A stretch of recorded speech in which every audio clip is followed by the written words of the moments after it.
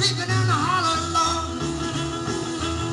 Well, she must have been my mama's only child. Yes, she must have been my mama's only child.